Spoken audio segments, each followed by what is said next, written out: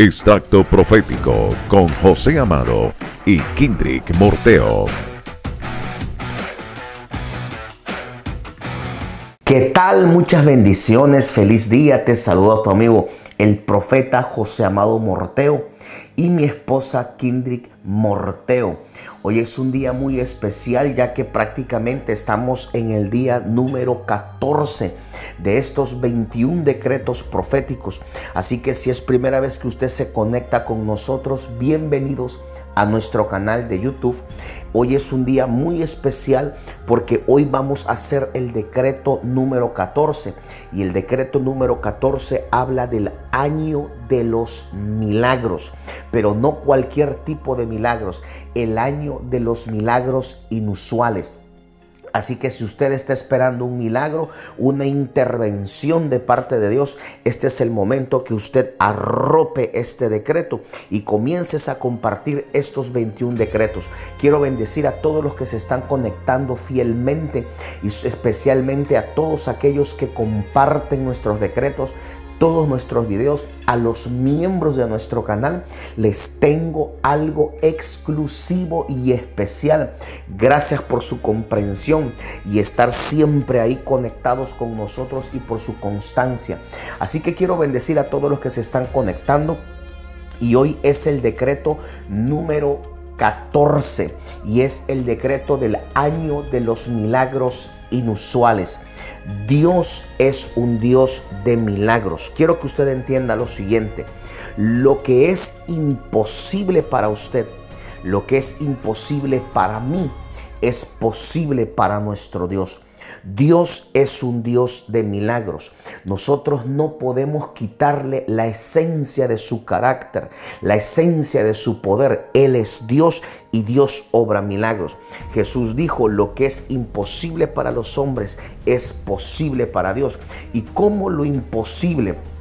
Se hace posible por medio de la intervención de un milagro divino. Mira lo que dice el libro de Deuteronomio capítulo 26 versículo 8.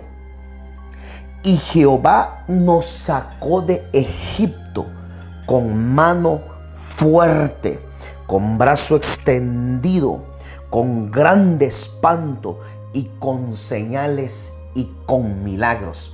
En otras palabras, el Dios que usted le sirve, el Dios que yo le sirvo, es un Dios hacedor de milagros. Ahora, la pregunta sería, profeta, ¿qué es un milagro? Un milagro es una intervención divina de nuestro Dios. Y ese milagro viene a revelar, número uno, su poder y número dos, su amor.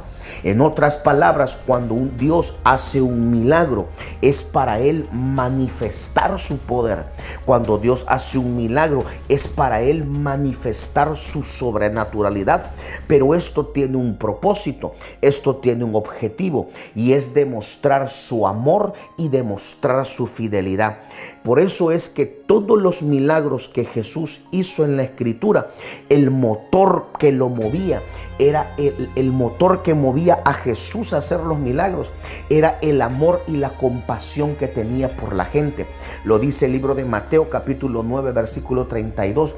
Dice que Jesús tuvo compasión y a ver las multitudes tuvo compasión porque estaban dispersas y desamparadas como ovejas que no tenían pastor. En otras palabras, para que usted entienda, lo primero que usted necesita para recibir un milagro es tener una necesidad. Te lo voy a revelar de nuevo.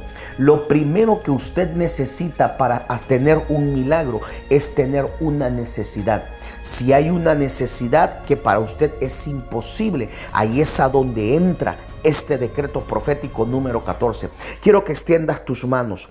Padre, en el nombre de Jesús de Nazaret, hoy yo tomo autoridad en el ámbito del Espíritu. Señor, y decreto que este es el año de milagros inusuales. Este es el año, Señor, donde tu brazo poderoso, Señor, entra en cada necesidad, entra en cada imposibilidad. Yo decreto en el nombre de Jesús de Nazaret, Señor, que todos los que están conectados, los que comparten, los que siembran, Señor, los que expectan un milagro en este año profético, Señor, tú se los concedes.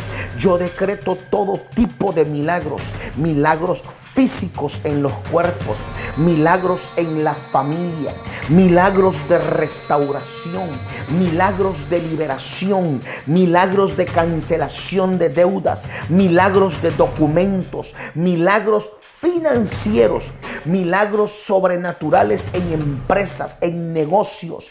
Señor, yo decreto en el nombre de Jesús que se libera este decreto como el año de los milagros inusuales.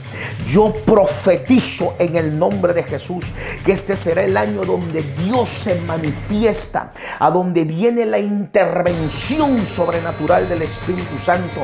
Yo decreto que así como es en el cielo, es hecho en la tierra. Sé bendecido, sé empoderado.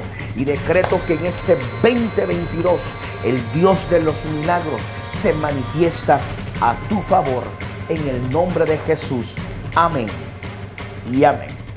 Bueno familia, gracias por estar conectados. Quiero recordarte escúcheme bien, quiero recordarte que estamos empezando la primera semana de nuestro ayuno profético de 21 días. El Señor me habló que este es un tiempo de búsqueda y todos los años empezamos el año con el cordón de los tres dobleces.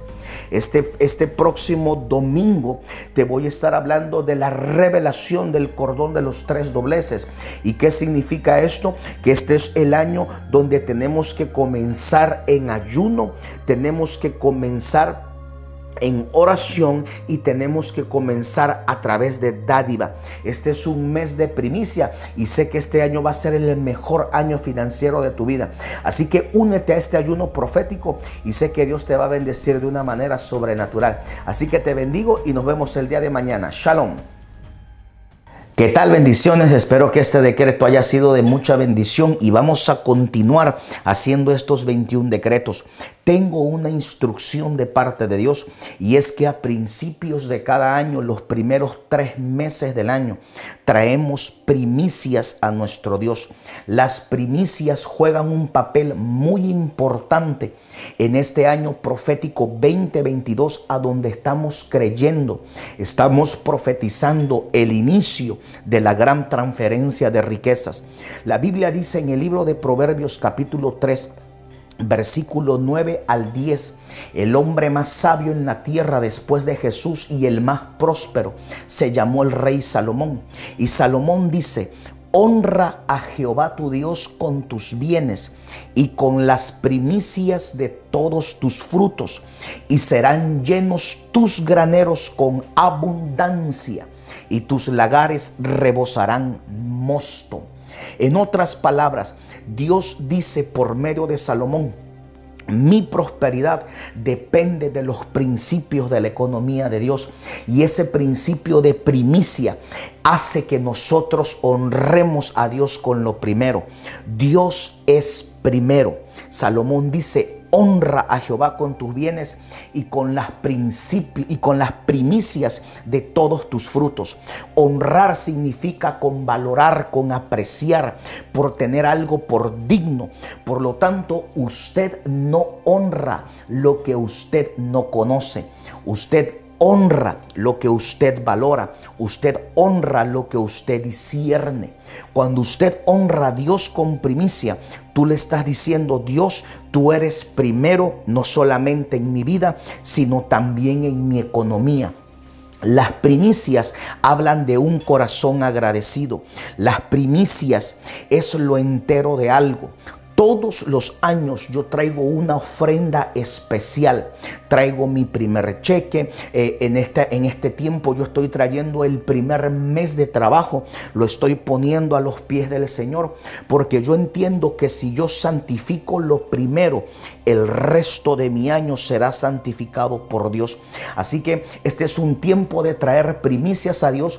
Y si usted tiene revelación y Dios te habla de traer primicias a nuestro ministerio, yo como sacerdote y profeta del Dios Altísimo, vamos a tomar primicias para santificarlas para Dios. Usted lo puede hacer a través de nuestro canal de YouTube, a través de nuestro link de PayPal, desde cualquier parte del mundo y si usted vive en Estados Unidos, lo puedes hacer a través de Cell, que es muy fácil, o a través de Cash App. Así que te bendigo, shalom, y vamos a seguir decretando. Y recuerda que este mes es un mes de primicias. Honra a Dios y Dios te va a honrar a ti. Bendiciones y nos vemos el día de mañana.